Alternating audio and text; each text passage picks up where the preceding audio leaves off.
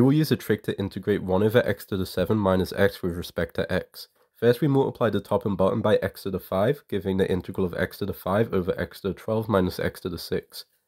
Next, we substitute u equals x to the 6. So du equals 6x to the 5 dx.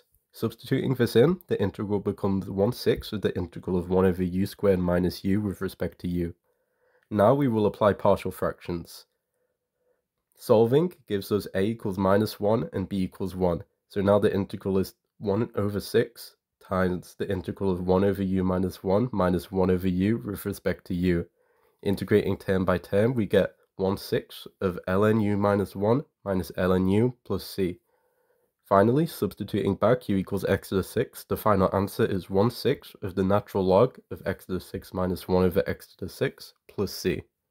If you want tuition from a Cambridge student, email the address on screen, and thank you for watching.